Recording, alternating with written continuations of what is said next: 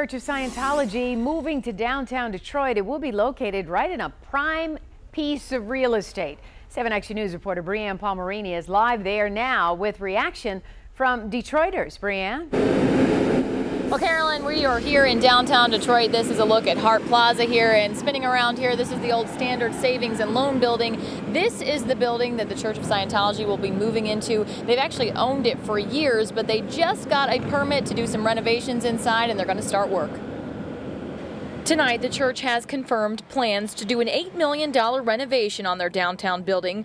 Church officials say they have been in the metro area since the 60s, and they're currently based in Farmington Hills, but that building is now for sale. While we did stop by, no one wanted to speak on camera. In a statement, the director of public affairs said, quote, this relocation is part of the church's international program to service its parishioners in ideal churches, and the Detroit Church of Scientology will be fully dedicated to serving its parishioners and the community.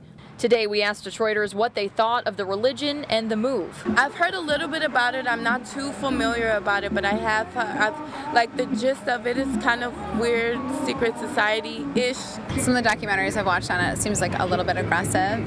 Brianna Phillips said her biggest concern was whether the church would be active in the community. Churches in Detroit are very community based, and that's my biggest thing. It's like if they come in as, as a, a spiritual leader or uh, some type of entity of that nature, like I hope they accommodate the people that already exist here and give back to the community. And Jess Johnson had a live and let live attitude. I mean, I'm cool if you're like, if that's your religion, you're into it, but just don't push it on other people. No word yet on when the downtown building will be open to the public. I don't know what's going on in there, but I hope they help the city. In the church's statement, the public affairs director says they are experiencing a major period of growth and opening new churches all over the United States and even the world. Live in downtown, Brianne Palmerini, 7 Action News. All right, thanks a lot, Brianne.